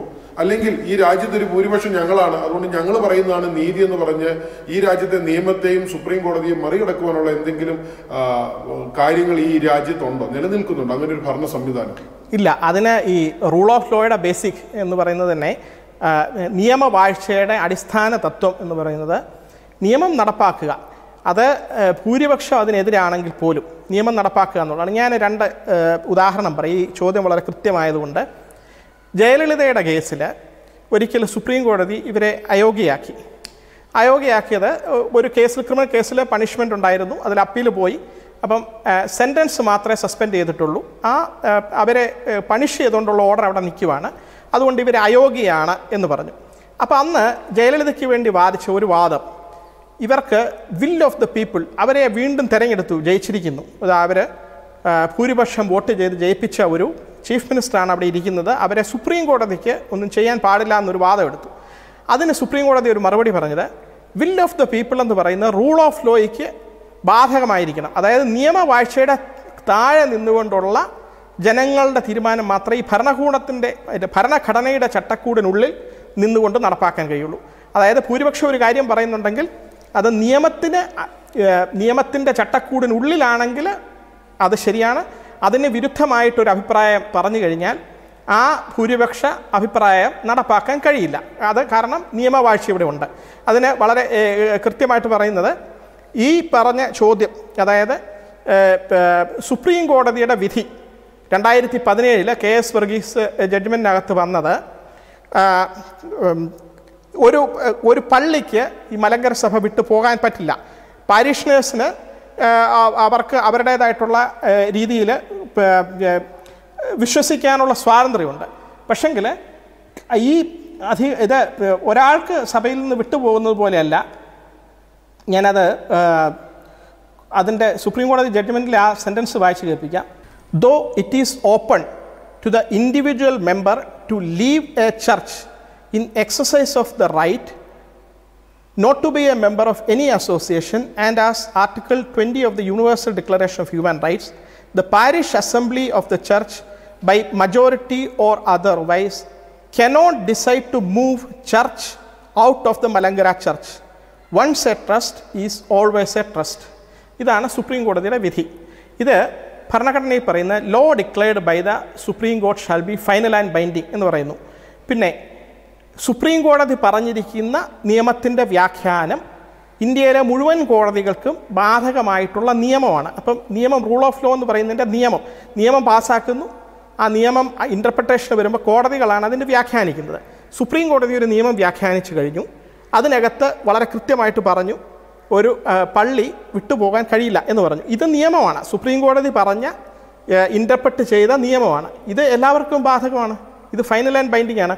പിന്നെ നേരത്തെ ചോദിച്ചതുപോലെ തന്നെ ഭൂരിപക്ഷം ഇരുന്ന് അത് ഓവർത്രോ ചെയ്യാൻ പറ്റുമെന്ന് ചോദിച്ചാൽ പറ്റില്ല. കാരണം നിയമവാഴ്ചയുടെ അടിസ്ഥാന തത്വം എന്ന് പറയുന്നത് ഭൂരിപക്ഷം ആളുകൾക്കിരുന്ന് ഒരു ഭരണഘടനയിൽ വാഗ്ദാനം ചെയ്തിരിക്കുന്ന ഒരു അവകാശമോ നിയമവാഴ്ചയിൽ രണ്ട് കക്ഷികൾ തമ്മിലുള്ള ഒരു തർക്കത്തിൽ ന്യൂനപക്ഷത്തിന്റെ കൂടെ കോടതിയുടെ ഒരു അധി വിധി വന്നു കഴിഞ്ഞാൽ അതിനെ ഓവർകം ചെയ്യാൻ പറ്റില്ല. ഈവൻ പാർലമെന്റിനോ സ്റ്റേറ്റ് ലെജിസ്ലേച്ചറിനോ ഒരു നിയമം പാസ്സാക്കിയാലും ഭരണഘടനാ വിരുദ്ധമാണെങ്കിൽ കോടതികൾ ഇത് എടുത്തു കളയും ചിലപ്പോൾ നൂറിൽ നൂറ് പേരും ഒരുമിച്ചിരുന്ന് പാസ്സാക്കുന്ന ഒരു നിയമമായിരിക്കും. അങ്ങനെ ഒരു നിയമം പോലും ഭരണഘടനയുടെ ചട്ടക്കൂടലിന് വെളിയിലാണെങ്കിൽ കോടതി വരുമ്പോൾ അത് അസാധുവാക്കി കളയും. അപ്പോൾ അതിന്റെ നിയമവാഴ്ചയുടെ അടിസ്ഥാന തത്വം എന്ന് പറയുന്നത് ഭൂരിപക്ഷത്തിന്റെ അല്ലെങ്കിൽ മൃഗീയമായിട്ടുള്ള ഒരു ഭൂരിപക്ഷം കൊണ്ട് ഒരു നിയമവാഴ്ചയെ അട്ടിമറിക്കാൻ കഴിയില്ല എന്നുള്ളതും കൂടിയാണ് ഒരു നിയമവാഴ്ചയിൽ വിശ്വസിക്കുന്ന ഒരു ജനാധിപത്യ രാജ്യത്തിന്റെ അടിസ്ഥാന തത്വം. സാർ ഈ ഭൂരിപക്ഷം ന്യൂനപക്ഷം എന്നൊക്കെ പറഞ്ഞപ്പോഴേ ഒന്ന് രണ്ട് കാര്യങ്ങൾ സാറിന്റെ അറിവിലേക്ക് കൂടെ പറയുന്നത്. ഈ മലങ്കര ഓർത്തഡോക്സ് സഭയെ സംബന്ധിച്ചിടത്തോളം മലങ്കര ഓർത്തഡോക്സ് സഭ കേരളത്തിലും ബാഹ്യ കേരളത്തിലും വിദേശ രാജ്യത്തും ഒരു മൃഗീയ ഭൂരിപക്ഷമായിട്ടാണ് നിലനിൽക്കുന്നത്. എന്നാൽ എറണാകുളം എന്ന് പറയുന്ന ഒരു ജില്ലയിൽ മാത്രമാണ് മറുപക്ഷത്തിന് എന്തെങ്കിലും ഒരു മേൽക്കോയ്മയുള്ളത്. എന്നാൽ ആ, ഒരു പേരും പറഞ്ഞ് ഈ മലങ്കര നസറാണികളെ ആക്രമിക്കുവാനും ഇല്ലാതാക്കുവാനാണ് ശ്രമിക്കുന്നത്. കാരണം തൊണ്ണൂറ്റഞ്ചിലെ വിധിക്ക് ശേഷം തൊണ്ണൂറ്റഞ്ചിലെ വിധിയിൽ സാറ് സാർ അത് വായിച്ച് സാറിന് അറിയാവുന്നതായിരിക്കും തൊണ്ണൂറ്റഞ്ചിലെ വിധിയിൽ പറയുന്നത് ഭൂരിപക്ഷം തീരുമാനിക്കട്ടെ എന്നാണ് രണ്ടുപേരും തീരുമാനിച്ചത്. രണ്ടുപേരും പൈസ കെട്ടിവെച്ചു. അതായത് ജസ്റ്റിസ് മലീമെട്ടിന്റെ മേൽനോട്ടത്തിൽ നിരീക്ഷകനായുള്ള ഒരു നടപടിക്രമത്തിൽ കൂടെ പോകുവാനും ഭൂരിപക്ഷം പറയുന്നതനുസരിച്ച് ആര് ഭരിക്കണമെന്ന് തീരുമാനിക്കാനുമാണ് സുപ്രീം കോടതി പറഞ്ഞത്. അതനുസരിച്ച് ഒരു തീരുമാനപ്രകാരം പരിമലയിൽ രണ്ടായിരത്തി രണ്ടിൽ അസോസിയേഷൻ നടക്കുമ്പോഴാണ് മറുഭാഗം ഏകപക്ഷീയമായി. അവർ ഭൂരിപക്ഷമല്ലെന്നും ന്യൂനപക്ഷമാണെന്നൊരു ബോധ്യം വന്നപ്പോഴാണ് മറുപക്ഷം അവിടെ നിന്ന് ഇറങ്ങിപ്പോകുന്ന ഒരു സാഹചര്യം ഉണ്ടായത്. അത് സാറിനോട് ഞാനൊന്ന് ആമുഖമായി പറഞ്ഞു എന്നേ ഉള്ളൂ. സാർ എന്റെ അടുത്ത ചോദ്യം എന്ന് പറയുന്നത് ഈ മലങ്കര സഭയുടെ തർക്കമല്ല? എല്ലാ തർക്കങ്ങളും എന്ന് പറയുന്നതും നൂറ്റാണ്ടുകളുടെ പഴക്കമുണ്ട്. കാരണം ഒരു സിവിൽ തർക്കങ്ങൾ എന്നൊന്നും പറയുന്ന ഒരു ദിവസം രാവിലെ സുപ്രീം കോടതിയിൽ ചെല്ലുന്നതല്ല. ഇത് നൂറ്റാണ്ടുകളുടെ സമയമെടുത്ത് അതായത് ഒരു മുനിസിപ്പ് കോടതി മുതൽ ഇതങ്ങ് സുപ്രീം കോടതി വരെ കിടക്കുന്ന ഒരു നടപടിച്ചട്ടം എന്ന് പറയുന്നത് വലിയ വലിയൊരു സിസ്റ്റമാണ്. അപ്പോൾ മുനിസിപ്പ് കോടതിയിൽ ആരംഭിച്ച വ്യവഹാരങ്ങൾ അങ്ങ് സുപ്രീം കോടതിയിലെത്തി. സുപ്രീം കോടതിയിൽ അതിനകത്ത് ഒരു അന്തിമമായ തീരുമാനമുണ്ടായി. അതൊരു ലോ ഓഫ് ലാൻഡ് ആയി മാറിക്കഴിയുമ്പോൾ പരാജയപ്പെട്ടവർ ആ കേസിൽ പരാജയപ്പെട്ടവർ ഞങ്ങളിത് അനുസരിക്കത്തില്ല. ഞങ്ങൾക്കിത് ബാധകമല്ല. ഞങ്ങളിത് ഇതിനൊന്നും വശംബദരാകത്തില്ല ഈ രാജ്യത്തെ നിയമം അനുസരിക്കത്തില്ല എന്ന് പറയുവാൻ എന്തെങ്കിലും ധാർമ്മികതയുണ്ടോ? അങ്ങനെ ഉള്ളവർക്ക് അതായത് ഈ വ്യവഹാരങ്ങൾ മൊത്തം നടത്തി പരാജയപ്പെട്ടു കഴിയുമ്പോൾ ഈ രാജ്യത്തെ നിയമവും ലോ ഓഫ് ലാൻഡും അനുസരിക്കത്തില്ല എന്ന് പറയുന്നതിനകത്തുള്ള ആ ഒരു എന്തെങ്കിലും പ്രസക്തി ഉണ്ടോ അങ്ങനെ പറയുന്നവരെ പൗരബോധമുള്ള അല്ലെ ഒരു ഇന്ത്യൻ സിസ്റ്റത്തിലുള്ളവരാണെന്ന് പറയാൻ പറ്റുമോ എന്നുള്ള എന്റെ ഒരു ചോദ്യമാണ് സാർ ഞാൻ അത്ര ഇതായിട്ട് പോകുന്നില്ല. ഞാൻ എനിക്കറിയാം ഈ കേരളത്തിൽ മുഴുവനും ഇന്ത്യയിലും ഒക്കെ പരിശുദ്ധ ബാബ തിരുമേനി അംഗീകരിക്കുന്നവരാണ് ഭൂരിപക്ഷം എന്ന് എനിക്കറിയാം. സ്പെസിഫിക് ആയിട്ടൊരു ചോദ്യം അതായത് ഭൂരിപക്ഷം എതിരായിട്ട് പറയുന്ന ഏതെങ്കിലും ഒരു പള്ളി ഉണ്ടെങ്കിൽ അവിടെ അവർ പറയുന്നത് ആണോ ബാധകം എന്ന് ചോദിച്ചതിന് ഉത്തരമായിട്ടാണ് ഞാനത് പറഞ്ഞത്. എനിക്ക് മറ്റേ കാര്യങ്ങൾ വാസ്തവം എന്റെ വസ്തുതകൾ അറിയാം. ഞാനതിന് ഒരു വേറൊരു രീതിയിൽ മറുപടി പറഞ്ഞോട്ടെ. അതായത് നമ്മൾ എന്താണ് ഇവിടെ വിവക്ഷിക്കുന്നത്? പൗരാണിക ഭാരതത്തിൽ ക്രിസ്ത്യാനിറ്റി ഇവിടെ എത്തിയത് എ ഡി അമ്പത്തിരണ്ടിൽ യേശുക്രിസ്തുവിന്റെ ശിഷ്യനായിരുന്ന സെന്റ് തോമസ് ആണ് ഇവിടെ കേരളത്തിൽ നമ്മളെ ക്രിസ്ത്യാനിറ്റി എത്തിച്ചത്. പല യൂറോപ്യൻ രാജ്യങ്ങളിലും യേശുവിനെ പറ്റി കേട്ടു തുടങ്ങുന്നതിന് മുമ്പ് തന്നെ ഇന്ത്യയിൽ ക്രിസ്തുവിനെ ആരാധിക്കുകയും വിശ്വസിക്കുകയും ഇവിടെ ഒരു അത്രയും ഡെഡിക്കേറ്റഡ് ആയിട്ടുള്ള ഒരു ജനവിഭാഗം ഇവിടെ ഉണ്ടായിരുന്നു. അപ്പം ഇപ്പോൾ നമ്മുടെ അടുത്ത് ഇല്ല. അതുപോരാ അത് വെളിയിൽ നിന്നുള്ള ഒരു പാത്രിയാർക്കീസ് പറഞ്ഞു കഴിഞ്ഞാൽ മാത്രമേ ഞങ്ങൾക്ക് വിശ്വാസമുള്ളൂ എന്ന് പറയുന്ന ഒരു വിഭാഗം. ആയിക്കോട്ടെ അങ്ങനെ വിശ്വാസമുള്ളവർക്ക് അവരുടെ രീതിയിൽ പോകാം. ഇത് ഈ എ ഡി അമ്പത്തിരണ്ടിൽ ക്രിസ്ത്യാനിറ്റി ഇന്ത്യയിൽ എത്തുമ്പോൾ പല യൂറോപ്യൻ രാജ്യങ്ങളിൽ ഇത് എത്തിയിട്ടില്ല എന്ന് പറയുന്നത് വത്സൻ തമ്പുവിനെ പോലെയുള്ള സെന്റ് സ്റ്റീഫൻസ് കോളേജിന്റെ പ്രിൻസിപ്പലായിരുന്നിട്ടുള്ള അദ്ദേഹമാണ് ഇത് പറഞ്ഞിട്ടുള്ളത്. അദ്ദേഹത്തിന്റെ പുസ്തകത്തിന്റെ പേര് പിൽഗ്രിംസ് ടു ദ ലൈറ്റ് എന്ന് പറയുന്ന പുസ്തകത്തിലാണ് അദ്ദേഹം ഇത് എഴുതിയിരിക്കുന്നത്. അപ്പോൾ ഈ കാര്യങ്ങൾ ശശി തരൂറും അദ്ദേഹത്തിന്റെ ചില സ്പീച്ചുകളിൽ പറയാറുണ്ട്. യൂറോപ്പിൽ പലയിടത്തും ക്രിസ്ത്യാനിറ്റി എത്തുന്നതിന് മുമ്പ് ഇന്ത്യയിൽ ക്രിസ്ത്യാനിറ്റി ഉണ്ട്. അപ്പോൾ ഇവിടെ നമ്മുടേതായിട്ടുള്ള വിശ്വാസ രീതികൾ ആചാരങ്ങൾ ഇപ്പം ഓണത്തിന് നമ്മൾ വിഷ് ചെയ്യുന്നു. ഈ രീതിയിൽ തദ്ദേശീയമായിട്ടുള്ള അത് ഒരു വിശ്വാസം ഉണ്ട് ഇവിടെ ഒരു ഭരണഘടന ഉണ്ടാക്കിയിട്ടുണ്ട് ആയിരത്തി തൊള്ളായിരത്തി മുപ്പത്തിനാലിൽ നിങ്ങളെങ്ങനെ മുന്നോട്ട് നടത്തിക്കൊണ്ട് പോകണമെന്നുള്ളതിനെപ്പറ്റി ഇതിന്റെ തർക്കം വന്നപ്പോൾ ഇവിടുത്തെ കോടതികൾ ഇന്ത്യയിലെ കോടതികളിൽ വിശ്വാസമുണ്ട് എന്ന് പറഞ്ഞ് കോടതിയുടെ പിന്നെ വിധിക്ക് അനുകൂലമായിട്ട് ഞങ്ങൾ കോടതി കോടതിയിൽ പോയി ഒരാൾ കേസ് കൊടുക്കുന്നതിന്റെ അർത്ഥം തന്നെ കോടതി വിധി എന്താണെങ്കിലും ഞങ്ങൾക്ക് രണ്ടുപേർക്കും സ്വീകാര്യമാണെന്നാണല്ലോ. അങ്ങനെ കോടതിയിലും പോകുന്നു. അപ്പോൾ കോടതിയിൽ നിന്ന് വിധി വരുന്നു. കോടതി വളരെ വ്യക്തമായിട്ട് പറയുന്നു പല കാര്യങ്ങളും. അത് കഴിഞ്ഞ് വീണ്ടും കോടതിയിൽ വരുമ്പോൾ പിന്നെ കോടതി അത് വീണ്ടും വീണ്ടും പല പ്രാവശ്യം എടുത്തു പറയുകയാണ്. ഇത് ഇങ്ങനെയാണ് ഈ വിധിയുടെ അർത്ഥം. ഇതിനകത്ത് ഇനി വ്യത്യാസങ്ങളില്ല എന്ന് പറയുമ്പം പിന്നെ അതിനെ സംശയിക്കുകയോ അല്ലെങ്കിൽ ആ വിധി നീതിയല്ല നിയമമല്ല ഇത് അങ്ങനെ പറയുന്നതിൽ എന്തെങ്കിലും ഒരു സാങ്കത്യം ഉണ്ടോ? നിങ്ങൾ തന്നെ അത് കോമൺ സെൻസ് ഉള്ള ആർക്കും അത് ആലോചിച്ച് കഴിഞ്ഞാൽ മനസ്സിലാവും. അത് അങ്ങനെ പറയുന്നത് വളരെ വളരെ പിന്നെ പറയുന്നത് നമ്മളോട് തന്നെ നമ്മൾ ചെയ്യുന്ന ഒരു മനസാക്ഷിയോട് ചെയ്യുന്ന ഒരു തെറ്റായ കാഴ്ചപ്പെടലേ കാരണം കോടതി പോയത് തന്നെ കോടതി വിധി എന്താണെങ്കിലും അംഗീകരിക്കും എന്നുള്ള ഒരു ഇതുകൊണ്ടാണല്ലോ കോടതിയിലോട്ട് പോകുന്നത്. സർ എന്റെ അടുത്ത സാറിന്റെ ഉത്തരങ്ങൾ വളരെ ക്ലിയർ ആണ്. എന്റെ അടുത്ത ചോദ്യം എന്ന് പറയുന്നത് ആത്മീയത എന്ന് പറയുന്നത് എനിക്ക് ആത്മീയ തലമുണ്ട്. ഒരു സംശയമില്ല അതേപോലെ തന്നെ എനിക്കുള്ളതാണ് പൗരബോധം. ഞാനൊരു ഇന്ത്യക്കാരനാണെന്നും ഞാനൊരു ഭാരതീയനാണെന്നും ഭാരതീയ സംസ്കാരത്തിൽ വളർന്ന എന്റെ തദ്ദേശീയമായും ഉള്ള ഈ പൗരബോധവും നിലനിർത്തേണ്ടതും ഒരു അത്യാവശ്യമായ സ്ഥിതിയാണ്. അപ്പം ആത്മീയതയുടെ ഒരു പരിവേഷത്തിൽ ആത്മീയ എന്ന് പറഞ്ഞ് ആത്മീയതയുടെ മറവിൽ ഈ പൗരബോധത്തെ ഇല്ലാതാക്കി ഇത് ഈ രാജ്യത്തെ നിയമത്തിന് മേളിലാണ് ആത്മീയതയെന്നും ആത്മീയ ചട്ടക്കൂടുകൾക്ക് ഈ ചില വാദങ്ങൾ അങ്ങനെ വരുന്നുണ്ട്. കാരണം ഒരു മഹാനായ പരവശത്തെ ഒരു വക്കീൽ പറയുന്നത് പാത്രിക്കസിന്റെ അധികാരങ്ങളെ ചോദ്യം ചെയ്യാൻ സുപ്രീം കോടതിക്ക് പോലും അവകാശമില്ല എന്നുള്ള രീതിയിൽ പുതിയ വാദങ്ങളൊക്കെ വരുന്നുണ്ട്. അപ്പം ഈ ആത്മീയ തലം വല്ലാതെ ഒരു തലമായിട്ട് വളർത്തി കാണിച്ചുകൊണ്ട് ഈ പൗരബോധത്തെയും ഇന്ത്യയുടെ നിയമവ്യവസ്ഥയും വെല്ലുവിളിക്കാനുള്ള എന്തെങ്കിലും നിയമപരമായോ അല്ലെങ്കിൽ അതൊരു നീതിയാണെന്ന് സാറിന് എപ്പോഴും തോന്നുന്നുണ്ടോ? അത് വേറെ രീതിയിൽ അതിന് മറുപടി പറയാം. ആർട്ടിക്കിൾ ഇരുപത്തഞ്ചിലാണ് ഭരണഘടനയിൽ മതങ്ങൾ മത സ്വാതന്ത്ര്യം അതായത് വ്യക്തികൾക്ക് അവർക്ക് ഇഷ്ടപ്പെട്ട മതത്തിൽ വിശ്വസിക്കാനും അതനുസരിച്ച് ജീവിക്കാനും അത് പ്രൊപ്പഗേറ്റ് ചെയ്യാനും ഒക്കെയുള്ള അവകാശങ്ങളുണ്ട്. അതെല്ലാം ഒരു ഫണ്ടമെന്റൽ റൈറ്റാണ് ഇന്ത്യൻ ഭരണഘടനയിലുള്ള ആർട്ടിക്കിൾ ട്വന്റി ഫൈവ് മാത്രമാണ് ബാക്കി ഫണ്ടമെന്റൽ റൈറ്റിന് വിധേയമായിട്ട് ചെയ്യേണ്ടത്. ഇതിനകത്ത് രണ്ട് വശങ്ങളുണ്ട്. ഒന്ന് എന്റെ വിശ്വാസം. അതിപ്പം വേറെ ഒരാൾക്കറിയില്ല. ഇപ്പം നൂറ്റി മുപ്പത് കോടി ജനങ്ങളുണ്ടെങ്കിൽ നൂറ്റി മുപ്പത് കോടി രീതിയിലാണ് അവർ വിശ്വസിക്കുന്നത്. ഓരോരുത്തരുടെയും വിശ്വാസത്തിന് അവരുടേതായിട്ടുള്ള ഒരു തലമുണ്ട്. അവർ വിശ്വസിക്കുന്നത് ഏത് രീതിയിലാണെന്ന് ആ വ്യക്തിക്ക് തന്നെ ഒരു പക്ഷേ ശരിക്കും അറിയില്ലായിരിക്കും പക്ഷേ ഇത് പ്രാക്ടീസ് ചെയ്യുമ്പോൾ നമ്മൾ മതം പ്രാക്ടീസ് ചെയ്യുമ്പോൾ അത് ആ മതത്തിന്റെ ചട്ടക്കൂടിനുള്ളിൽ നിന്നുകൊണ്ട് ചെയ്യാനുള്ള എല്ലാ അവകാശങ്ങളുമുണ്ട്. ഇത് ഈ- പറയുന്ന വിശ്വാസങ്ങൾ വേറെ ഒരു ഫണ്ടമെന്റൽ റൈറ്റിന് വിരുദ്ധമായിട്ട് ചെയ്യാനും പറ്റത്തില്ല. അതായത് ഭരണഘടന തന്നെ വാഗ്ദാനം ചെയ്തിരിക്കുന്ന വേറെ ചില ഫണ്ടമെന്റൽ റൈറ്റ് ഉണ്ടല്ലോ. അതിന് വിരുദ്ധമായിട്ട് ചെയ്യാൻ പറ്റില്ല. പിന്നെ ഗവൺമെന്റ് സ്റ്റേറ്റ് നിയമം ഉണ്ടാക്കുകയാണെന്ന് വിചാരിക്കുക. അതായത് രണ്ട് കാര്യങ്ങളുണ്ട്. ഒന്ന് ആത്മീയതലം പിന്നെ അതിന്റെ മതത്തിന്റെ മതം പ്രാക്ടീസ് വരുമ്പോഴത്തേക്കും അതിന്റേതായിട്ടുള്ള പല കാര്യങ്ങൾ വരും. അതായത് ഏത് മതങ്ങളും ഓർഗനൈസ് ചെയ്ത് നടത്തിക്കൊണ്ടു പോകണമെങ്കിൽ അതിനകത്ത് ചില സിവിൽ കാര്യങ്ങൾ വരും. അതായത് മതത്തിന്റെ ആത്മീയ തലം അല്ലാതെ നടത്തിക്കൊണ്ടു പോകേണ്ടതായിട്ടുള്ള ചില കാര്യങ്ങളുണ്ട്. അഡ്മിനിസ്ട്രേഷൻ മാനേജ്മെന്റ് അപ്പം മഠങ്ങളാണെങ്കിൽ അത് ഒരു ഒരു മഠം നടത്തിക്കൊണ്ടു പോവുകയാണ് അല്ലെങ്കിൽ ഒരു പള്ളി നടത്തിക്കൊണ്ടു പോവുകയാണ് അല്ലെങ്കിൽ ഒരു ഇസ്ലാമിന്റെ ആരാധനാലയം നടത്തിക്കൊണ്ട് ഈ നടത്തിക്കൊണ്ടു പോകുന്നതായിട്ടുള്ള കാര്യങ്ങളിൽ സിവിലായിട്ടുള്ള ചില കാര്യങ്ങളുണ്ട്. അതായത് അത് മതത്തിന്റെ ആത്മീയ തലമല്ല ഭൗതികമായിട്ടുള്ള ചില കാര്യങ്ങൾ. ഈ കാര്യങ്ങളിലൊക്കെ നിയമം സിവിൽ ആൻഡ് പൊളിറ്റിക്കൽ കാര്യങ്ങളിലൊക്കെ കോടതികൾക്ക് ഇടപെടാനുള്ള അവകാശമുണ്ട്.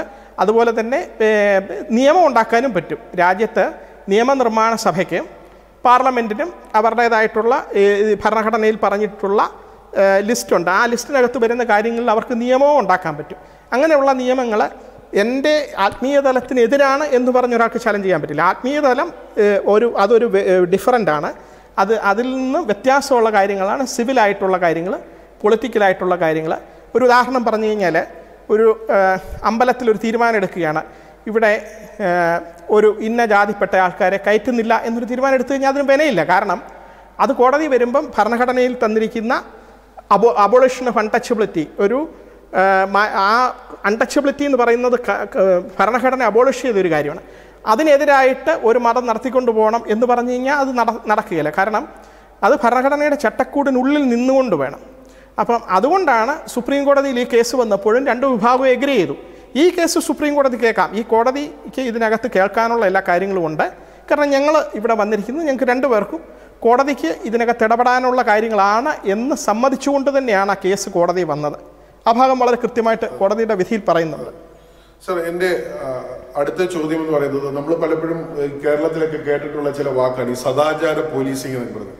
എന്ന് പറയുന്നത് സദാചാര പോലീസ് എന്ന് പറയുന്നത് ഒരു സ്ഥലത്ത് അവർ കുറച്ച് ആൾ കൂടി എന്തെങ്കിലും ഒരു തെറ്റ് കാണുന്നു അവർ തീരുമാനിക്കുന്നു അവർ ഒരു ശിക്ഷ അങ്ങ് നടപ്പാക്കുന്നു. അപ്പം എന്തിന്റെ മറവിലാണല്ലേ? ഞാൻ ആത്മീയതയുടെ എന്തിന്റെയും മറവിൽ ഈ സദാചാര പോലീസിനെയും പോലെ എന്താ വെച്ചാൽ ഒരു സ്ഥലത്തെ ഭൂരിപക്ഷമാണെന്ന് പറഞ്ഞ് അവർ തന്നെ ഒരു അക്രമം അഴിച്ചു വിടുകയാണ് അങ്ങനെയുള്ള ഒരു സദാചാര പോലീസിങ്ങിനോ അല്ലെങ്കിൽ ഒരു ഭൂരിപക്ഷത്തിന്റെ പേര് പറഞ്ഞ് നിയമം കയ്യിലെടുക്കുവാനോ ഈ രാജ്യത്തെ നിയമ ന്യായ വ്യവസ്ഥകളെ വെല്ലുപിടിക്കുവാൻ വെല്ലുവിളിക്കുവാനോ ഉള്ള ഒരു എന്തെങ്കിലും ഒരു ഒരു ഒരു എന്താണ് പറയുക നമ്മൾ നീതിയുടെയോ നിയമത്തിന്റെയോ പിൻബലം ഈ സദാചാര പോലീസിംഗ് പോലെ പറയുന്ന ആ, ഭൂരിപക്ഷം എന്ന് സ്വയം എടുത്തു പറഞ്ഞ് അഹങ്കരിക്കുന്ന അവർക്ക് അങ്ങനൊരു നിയമത്തിന്റെ ഒരു വാലിഡിറ്റിയോ ഒരു പിന്തുണയോ അവർക്കുണ്ടോ? ഇല്ലല്ലോ. അത് നമ്മൾ വീണ്ടും വീണ്ടും തന്നെ പറഞ്ഞത്. അങ്ങനെ ഒരു നിയമത്തിന്റെ ചട്ടക്കൂട് നിൽക്കാത്ത ഒരു സംവിധാനത്തിന് നമ്മുടെ ഭരണഘടനയുടെ കീഴിൽ യാതൊരു സ്ഥാനവുമില്ല അവർ പറയുന്നത് ഇഗ്നോർ ചെയ്യാന്നുള്ളതേ ഉള്ളൂ. അതെ ഞാൻ വീണ്ടും വീണ്ടും ചോദിക്കുന്നത് വളരെ വ്യക്തമായി നമുക്ക് അറിയേണ്ട ഒരു കാര്യമാണ്. കാരണം ഈ ചില അക്രമങ്ങളൊക്കെ അഴിച്ചു വിട്ടിട്ട് ചില ഡ്രാമകൾ പോലെ അതായത് നമ്മൾ കണ്ട് കണ്ട് കേട്ട് കേൾവിയില്ലാത്ത അറസ്റ്റ് വരിക്കാൻ പോലും പല ഓപ്ഷൻസ് കൊടുക്കുന്ന ചില രീതികളൊക്കെയാണ് നമ്മൾ കഴിഞ്ഞ ദിവസങ്ങളിൽ കണ്ടത്. അതുകൊണ്ടാണ് ഇങ്ങനൊരു ചോദ്യം വീണ്ടും വീണ്ടും ഞാൻ ചോദിക്കുന്നത്. സാർ മലങ്കര സഭയെ സംബന്ധിച്ച് ഇന്നത്തെ ഒരു വലിയ പ്രശ്നം എന്ന് പറയുന്നത് മലങ്കര സഭയ്ക്ക് എതിരെ ഒത്തിരി പേർ ഇങ്ങനെ കൂട്ടം കൂടി വരുന്നുണ്ട്. അതിൽ ഒരു ബഹുമാനപ്പെട്ട ഒരു റിട്ടയർഡ് ജസ്റ്റിസിനെയും കാണുകയുണ്ടായി അദ്ദേഹം പറയുന്നത് നിയമം ജയിച്ചു കാണും നീതി പരാജയപ്പെട്ടു കാണും. അപ്പം ഞാൻ എന്റെ വ്യക്തിപരമായി ചിന്തിക്കുന്നത് ഒരു ജഡ്ജി ജഡ്ജിയായി പ്രവേശിക്കുക പ്രവർത്തിക്കുന്നത് നീതിബോധത്തോടെ നിയമം നടപ്പാക്കുക എന്നുള്ളതാണ്. നീതിയും നിയമവും ഒരുപോലെ. അപ്പം അദ്ദേഹം ജഡ്ജിയായിട്ടിരിക്കുമ്പോൾ അദ്ദേഹത്തിന്റെ മുമ്പിലുള്ള നിയമം പഠിക്കുകയും ആ നിയമപരമായ കാര്യങ്ങൾ കാരണം ഇതൊരു സിവിൽ തർക്കമാണ്. ഇതൊരു ഒരു സഭയുടെ പ്രോപ്പർട്ടിയെ സംബന്ധിച്ചും സഭയുടെ ഭരണത്തെ സംബന്ധിച്ചും അഡ്മിനിസ്ട്രേറ്റീവ് മാറ്ററാണ് നമ്മൾ സാറ് പറഞ്ഞ നേരത്തെ പറഞ്ഞു ഇത് ആത്മീയ തലമല്ല. കാരണം സുപ്രീം കോടതി തൊണ്ണൂറ്റഞ്ചിലെ വിധിയിൽ കേസിൽ ചോദിക്കുമ്പോൾ ഇത് ആത്മീയത അല്ലെന്ന് രണ്ടുപേരും കോടതിയിൽ പറഞ്ഞിട്ടുള്ള ഇത് അഡ്മിനിസ്ട്രേറ്റീവ് കാര്യം അതുകൊണ്ട് കോടതി തീരുമാനം എടുക്കുക എന്ന് രണ്ടുപേരും കോടതിയോട് ആവശ്യപ്പെട്ടാണ്. അപ്പം ഞാൻ പറഞ്ഞത് ഒരു ബഹുമാനപ്പെട്ട ജഡ്ജി ജഡ്ജിയായിട്ടിരിക്കുമ്പോൾ ചില നല്ല തീരുമാനങ്ങൾ നല്ല തീരുമാനങ്ങൾ എന്ന് പറഞ്ഞത് അദ്ദേഹം നിയമം നോക്കി കൃത്യമായി ജഡ്ജ്മെന്റ് എഴുതുകയും എന്നാൽ റിട്ടയർ ചെയ്ത് ഒരു റിലാക്സേഷൻ മൂഡിൽ ഇരിക്കുമ്പോൾ അദ്ദേഹം ഇതൊന്നും നീതിയല്ല എന്ന് പറയുന്നു. അപ്പോൾ നിയമത്തെ നീതിയും ഇങ്ങനെ ഒരു ജഡ്ജി പറയുന്നത് അത് ശരിയാണോ? അത് അങ്ങനെയുള്ള ഞാൻ ഒരു ചോദ്യം കൂടി കൂട്ടി ചോദിക്കുകയാണ് സാറേ. ഈ ജഡ്ജിമാർക്ക് റിട്ടയർ ചെയ്ത് കഴിയുമ്പോഴും എന്തെങ്കിലും പ്രത്യേക? ഇപ്പൊ ഞാനൊരു സാധാരണ പൗരനാണ്. എനിക്ക് ചില തരുന്ന പൗര അവകാശങ്ങളും ചില നിയമ സംരക്ഷണമുണ്ട്.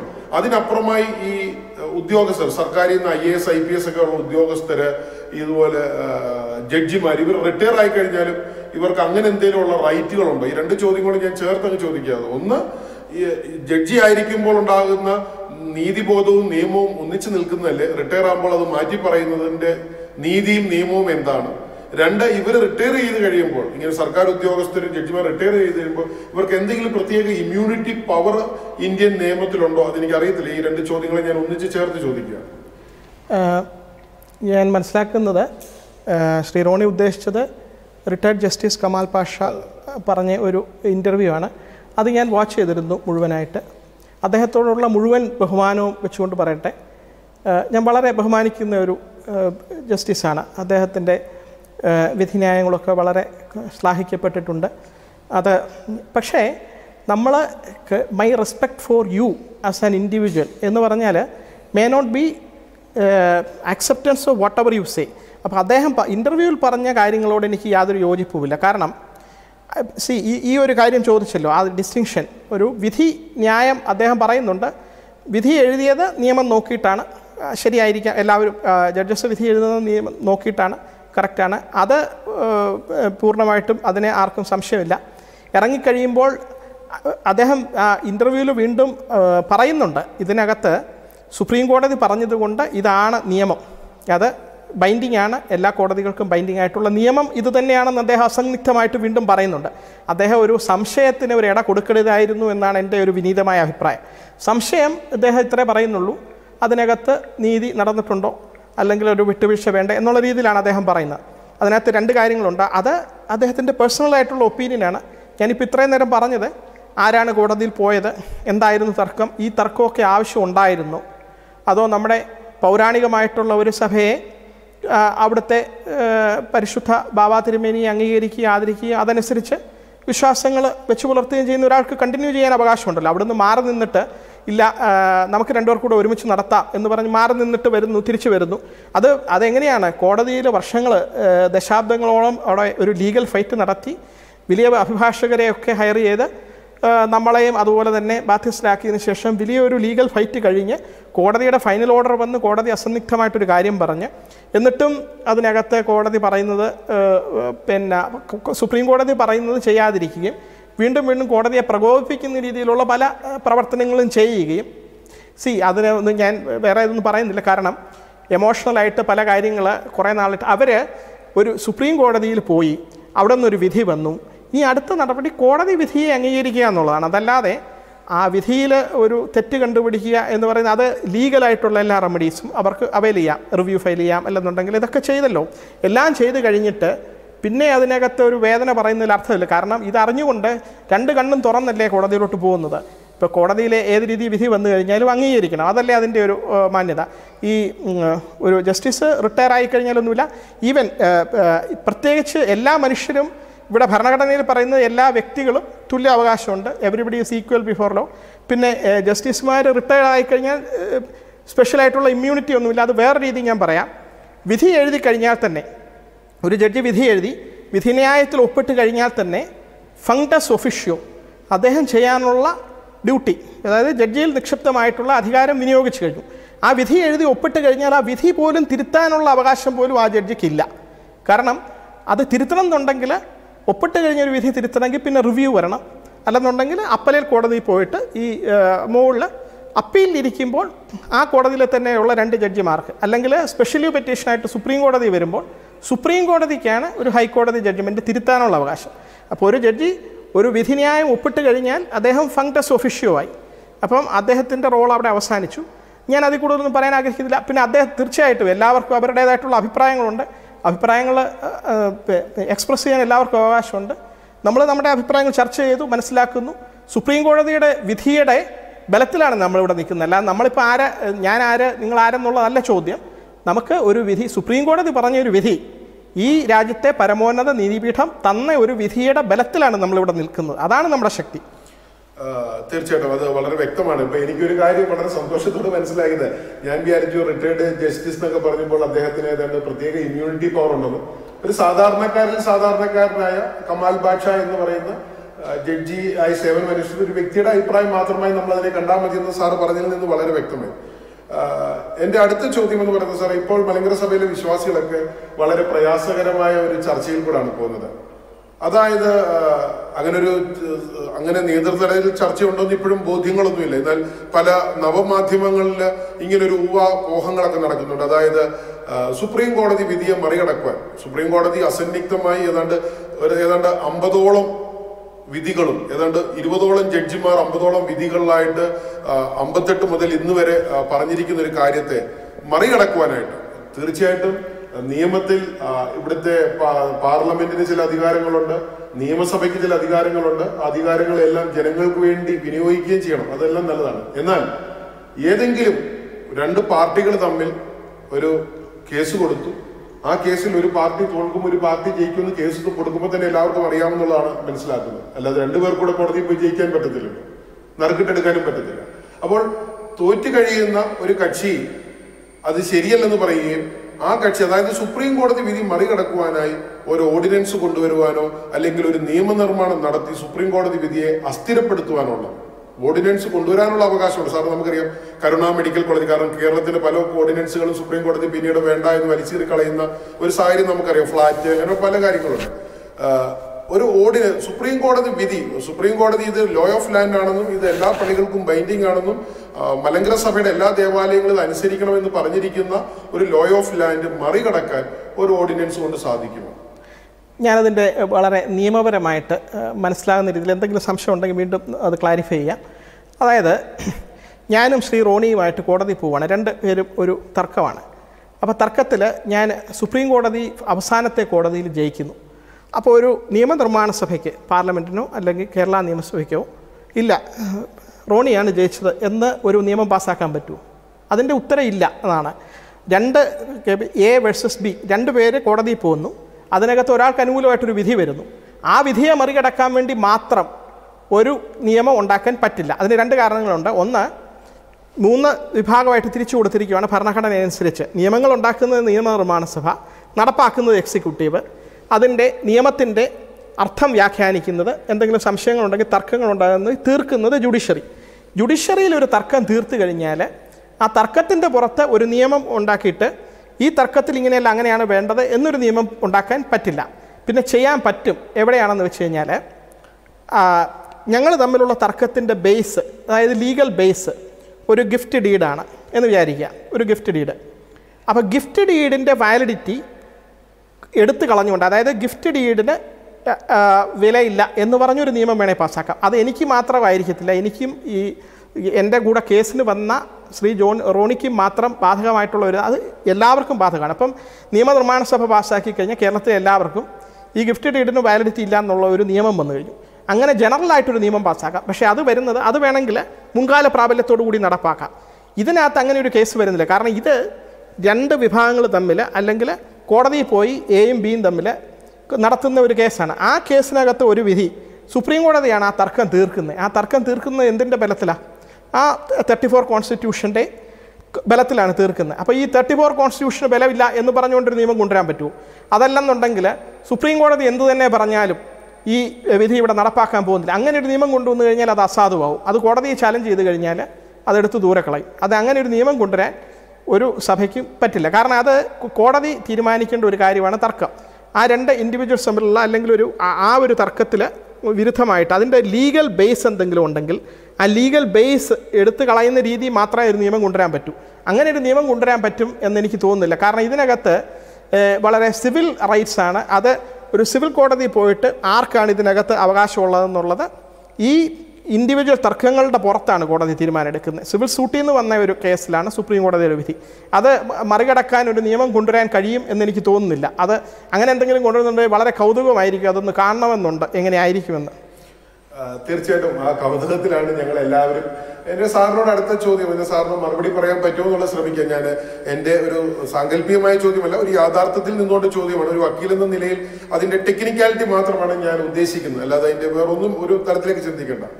ഒരു ആത്മീയ ആചാര്യൻ ഇവിടെ ഒരു വിഷയം ഉണ്ടാകുമ്പോൾ ജർമ്മൻ ഭാഷയിൽ സംസാരിക്കുകയും ഈ രാജ്യത്ത് നിയമവും നീതിയും ഒന്നും ഇല്ല എന്നും ഈ രാജ്യം അക്രമമാണെന്ന് പറഞ്ഞു പരത്തുകയും മറ്റൊരു ഭാഷയിൽ പറയുകയും അതിന്റെ പേരിൽ പൈസ പിരിവ് നടത്തുകയും ചെയ്യുന്നതിന് നിയമസാധ്യതയുണ്ടോ? അങ്ങനെയുള്ള ഒരാളെ ശിക്ഷിക്കാൻ എന്തെങ്കിലും ഈ രാജ്യത്ത് നിയമത്തിൽ സാധ്യതയുണ്ടോ? ശിക്ഷിക്കുക എന്നുള്ള ഭാഗത്തോട്ട് ഞാൻ പോകുന്നില്ല.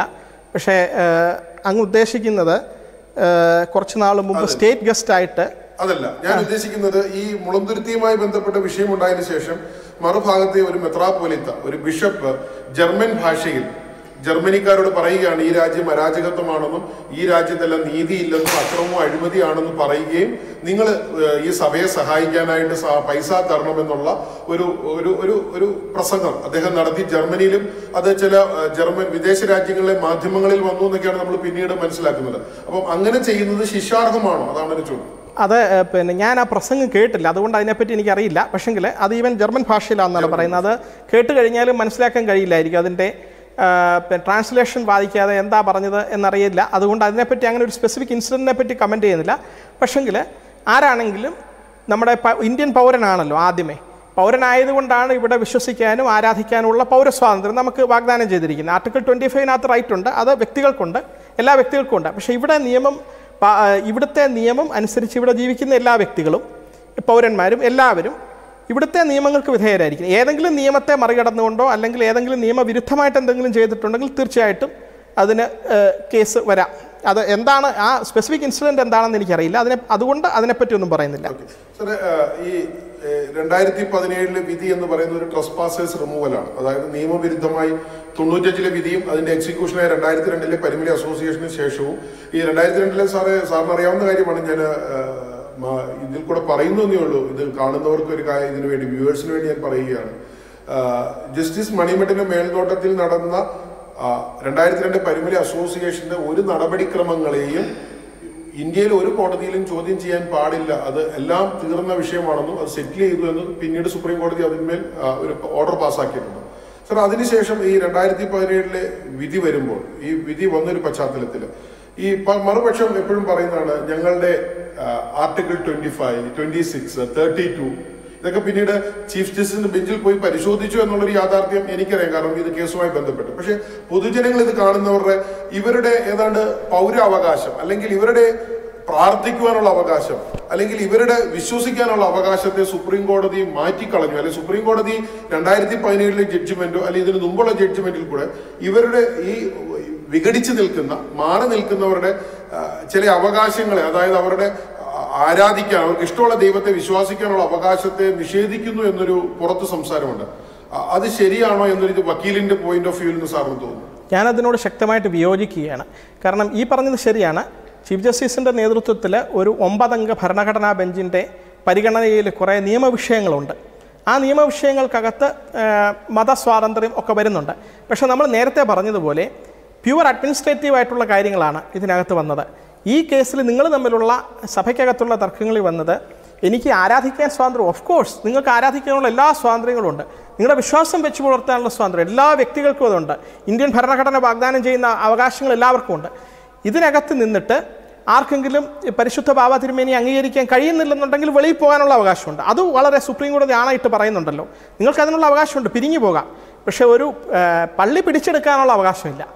ആ പള്ളി പിടിച്ചെടുക്കാനുള്ള അവകാശമില്ല എന്ന് പറയുന്നത് അതിനകത്ത് എവിടെയാണ് ഈ ആർട്ടിക്കിൾ ട്വന്റി ഫൈവിന്റെ റൈറ്റ് വരുന്നില്ല. അത് വരുന്നില്ല. അത് കാരണം അത് പ്യൂർ അഡ്മിനിസ്ട്രേറ്റീവ് ആയിട്ടുള്ള കാര്യമാണ്. റിലീജിയസ് ആയിട്ടുള്ള കാര്യങ്ങളുമായിട്ട് അസോസിയേറ്റ് ചെയ്ത് വരുന്ന ചില സിവിൽ കാര്യങ്ങളാണത്. അതല്ലാതെ ആത്മീയ കാര്യം അതിനകത്ത് വരുന്നില്ല. അപ്പോൾ അതുകൊണ്ട് ആ തർക്കത്തിന്റെ പുറത്ത് ഈ ഒമ്പതംഗ ഭരണഘടനാ ബെഞ്ചിൽ ഇരിക്കുന്ന ഒരു വിഷയമായിട്ട് യാതൊരു ബന്ധവുമില്ല എന്റെ അഭിപ്രായം. തീർച്ചയായിട്ടും. ഇത്രയും സമയത്തിലേക്ക് സാറ് ഞങ്ങൾക്ക് വേണ്ടി ഇതിനകത്ത് സാറ് പലപ്പോഴും ദൃശ്യ ദൃശ്യമാധ്യമങ്ങളിലൂടെ പല ചാനലിൽ കൂടെയും ഞങ്ങൾ സാറിനെ കാണാറുണ്ട്.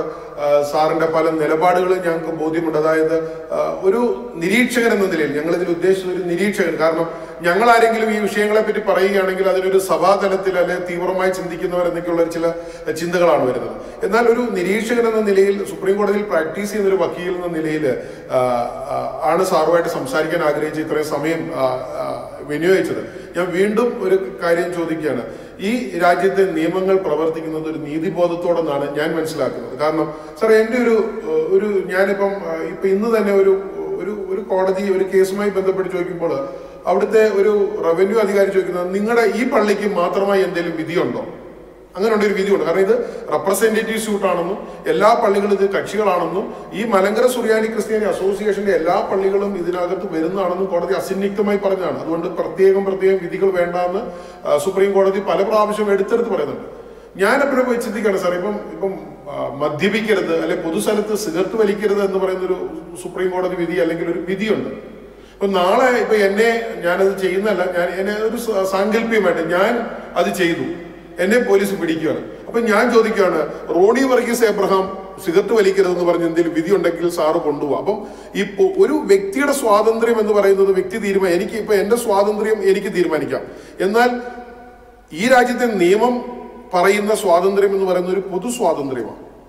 അപ്പം മതത്തിന്റെ പേരിലോ ഏതെങ്കിലും ഒരു ചട്ടത്തിന്റെ പേരിലോ അതായത് എനിക്ക് ചില സ്വാധീനങ്ങളുണ്ട് ഞാൻ ഒരിക്കലും അതിന് ഭൂരിപക്ഷം എന്നൊന്നും പറയാൻ ആഗ്രഹിക്കുന്നില്ല.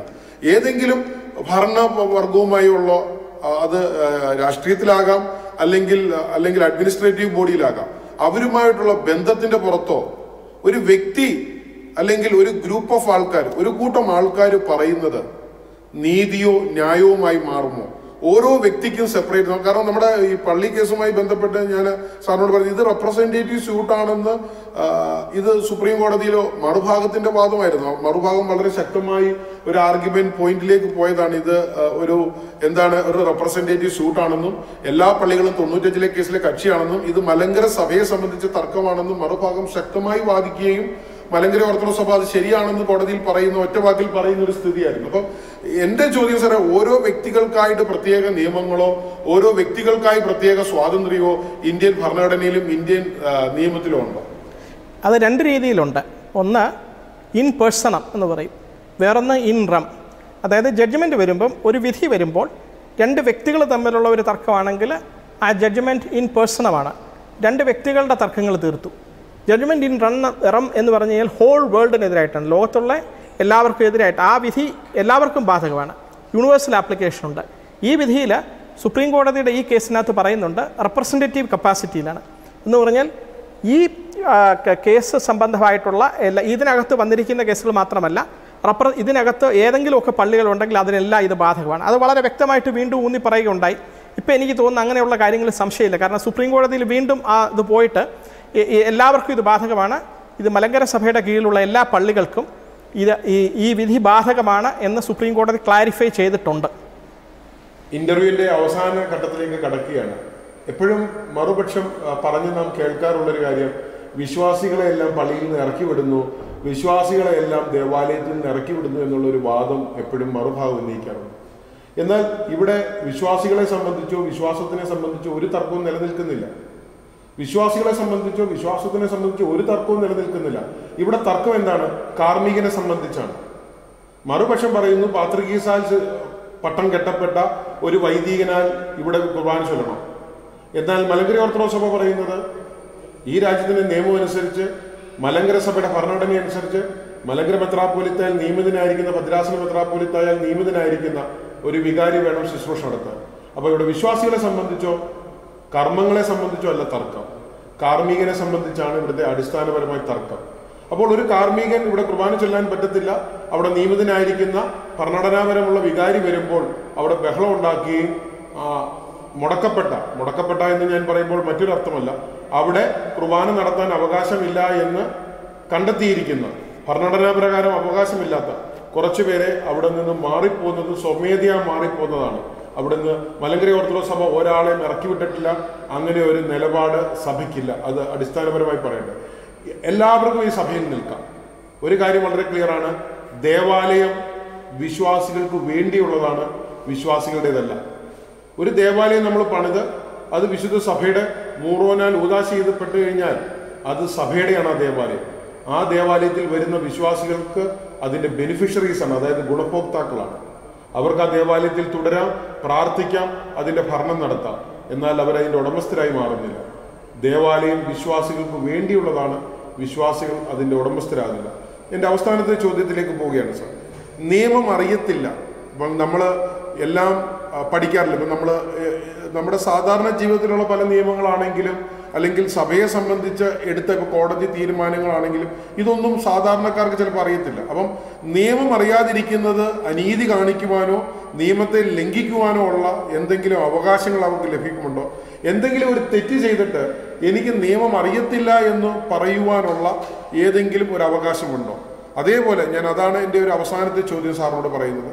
രണ്ടാമത്തെ എന്റെ ഒരു ചോദ്യം ഇതിനോട് ചേർന്ന് നിൽക്കുന്നത് ഓർഡിനൻസിന്റെ മറവിൽ ഒരു സഭയെ തദ്ദേശീയമായി ഇവിടുത്തെ നാം പാരമ്പര്യമായി വിളക്ക് കത്തിച്ചും മണിയടിച്ചും അങ്ങനെ ആ വിളക്കിന്റെ പ്രകാശത്തിൽ കൂടെ വളർന്നു വന്ന ഒരു പ്രാദേശിക സഭയായി നിലനിൽക്കുന്ന ഈ ഈ ഭാരതത്തിന്റെ സംസ്കാരം ഉൾക്കൊള്ളുന്ന ഈ സഭയെ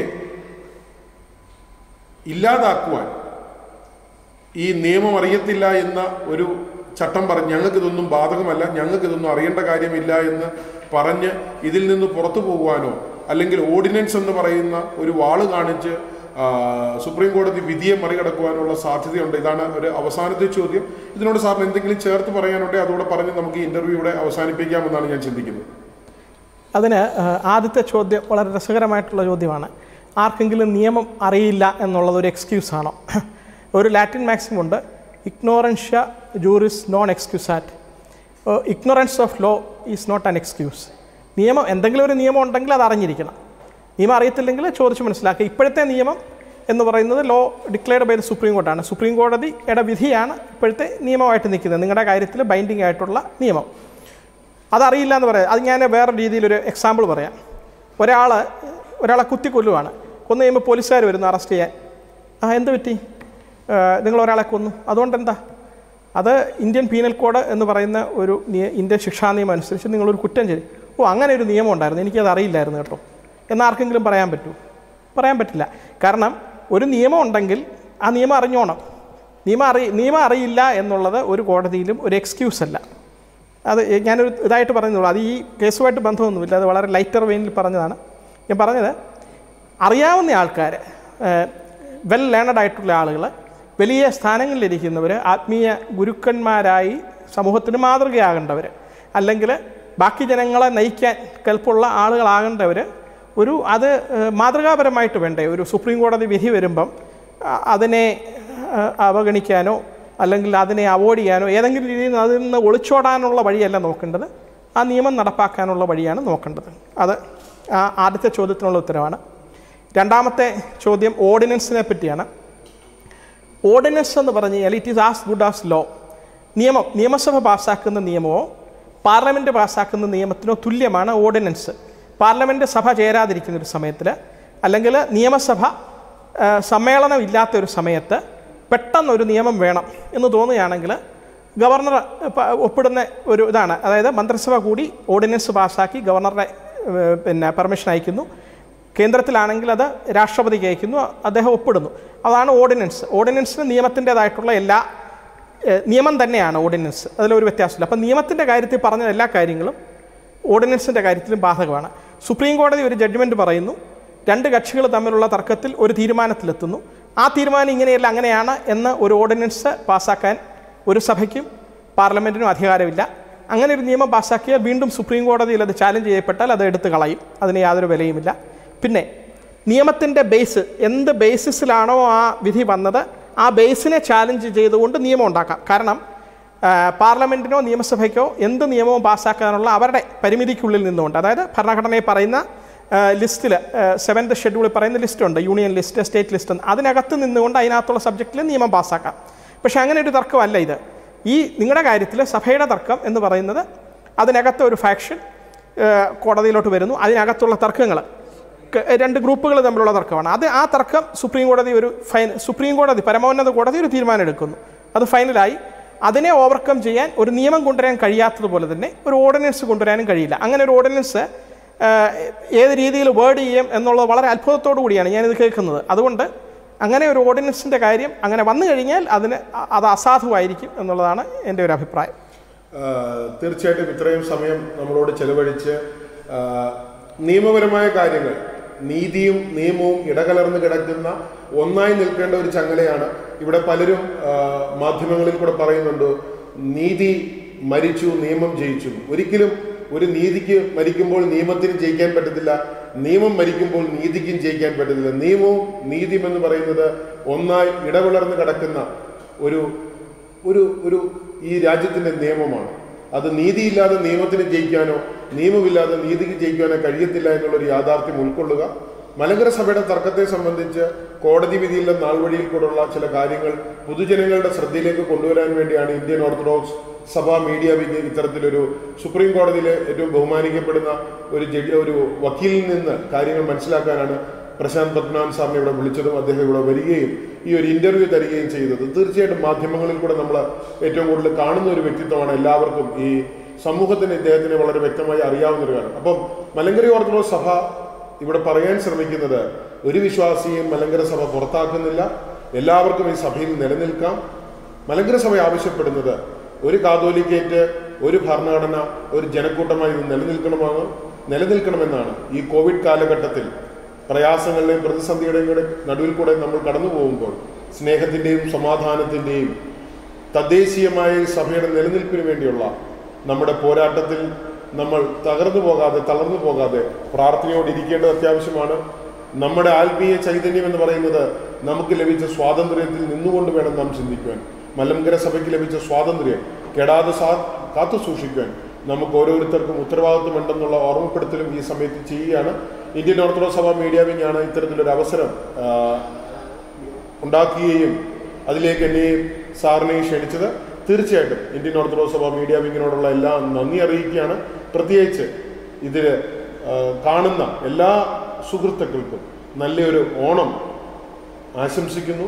സ്നേഹത്തിന്റെയും സമാധാനത്തിന്റെയും സാഹോദര്യത്തിന്റെയും ഒരു നല്ല നാളെ നമുക്കുണ്ടാകട്ടെ. ഈ പ്രതിസന്ധിയും പ്രയാസവും മാറി ഈ കോവിഡിന്റെ പശ്ചാത്തലമെല്ലാം മാറി ഒന്നായിരിക്കുവാനും ഒന്നായി ചേരുവാനും ഈ രാജ്യത്തിന്റെ നിയമത്തിനും ഭരണഘടനയ്ക്കും ഉള്ളിൽ മലങ്കര സഭയുടെ മക്കളായി കലഹിച്ചു നിൽക്കുന്ന സഹോദരങ്ങൾക്ക് ഒന്നുചേരാൻ സാധിക്കട്ടെ എന്ന് പ്രാർത്ഥിക്കുകയും ആശംസിക്കുകയും എല്ലാവിധ നന്ദി. ഇന്ത്യൻ ഓർത്തഡോക്സ് സഭ മീഡിയ വിങ്ങിന് വേണ്ടി സാറിനോട് അർപ്പിക്കുകയാണ്. സാറിന്റെ സമയം ഈ നല്ല കാര്യങ്ങൾ ഈ നിയമപരമായ കാര്യങ്ങൾ നീതിപൂർവമായ കാര്യങ്ങൾ പറഞ്ഞു തന്നതിനുള്ള എല്ലാ നന്ദിയും കടപ്പാടും ഇന്ത്യൻ ഓർത്തഡോക്സ് സഭ മീഡിയ വിങ്ങിന് വേണ്ടി അറിയിക്കുകയാണ്. എല്ലാവർക്കും നന്ദി പറഞ്ഞുകൊണ്ട് നിർത്തുകയാണ്. നമസ്കാരം. നന്ദി നമസ്കാരം.